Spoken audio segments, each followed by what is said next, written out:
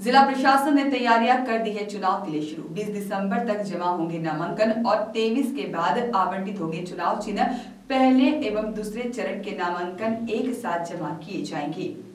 पंचायत चुनाव को लेकर चुनाव आयोग द्वारा जिला प्रशासन ने दी जानकारी। जिला प्रशासन ने भी की तैयारियाँ शुरू।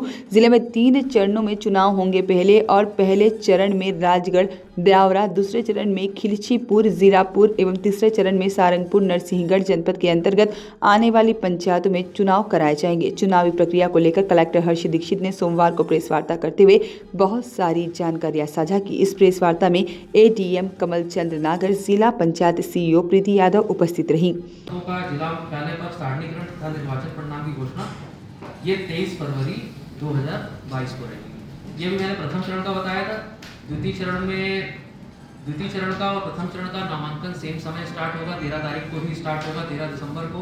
और हाँ सेकंड सेकंड का इलेक्शन डेट अलग है बाकी नामांकन की जो प्रक्रिया है एक साथ वो एक साथ होगी। नाम वापसी की प्रक्रिया एक समय है। खाली निर्वाचन की जो डेट है, मतदान की डेट है, वो प्रथम चरण की 6 जनवरी को है और द्वितीय चरण की 28 जनवरी फिर तृतीय चरण के लिए आपका जो नामांकन है, वो 30 दिसंबर को चालू 30 दिसंबर को चालू होके ये प्रक्रिया अंतिम तारीख 6 जनवरी तक जाएगी। 6 जनवरी को जब प्रथम चरण का चुनाव है तो उस दिन तक तृतीय चरण के जो नामांकन है, वो रहेंगे।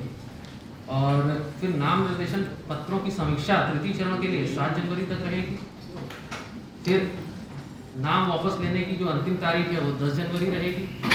फिर उसके बाद निर्वाचन लड़ने वाले अभ्यर्थियों की सूची तैयार करना तथा वॉइस ऑफ़ राइट्स के लिए राजगढ़ से नाजिन अल्ताफ की रिपोर्ट।